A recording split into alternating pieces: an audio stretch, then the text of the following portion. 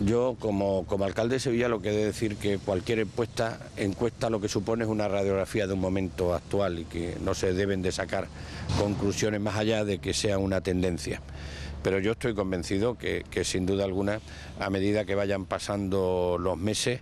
se va a ir ampliando la distancia del PP sobre el Partido Socialista. En primer lugar porque la bajada de impuestos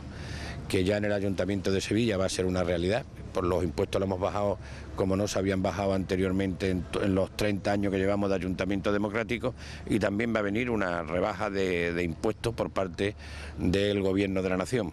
Yo creo que esas medidas, así como también la reactivación económica como consecuencia de las medidas que hemos tenido que tomar desde el primer momento, yo creo que nos va a suponer enfrentarnos a los últimos meses o años de los distintos mandatos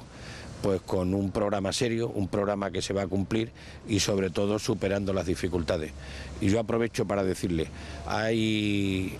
hay proyectos que la oposición, con independencia de lo que ideológicamente uno pueda tener, son buenos para Sevilla,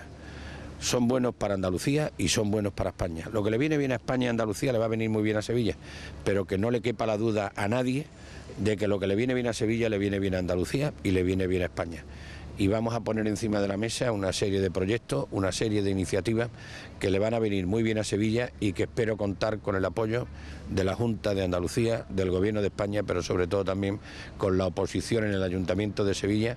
porque Sevilla y los sevillanos deben estar por encima de, la de, las ideologías, por encima de los partidos y conseguir entre todos alcanzar ese objetivo que nos hemos marcado y que estoy convencido que la oposición va a compartir con el Gobierno, que es generar oportunidades y al mismo tiempo generar más empleo en nuestra ciudad.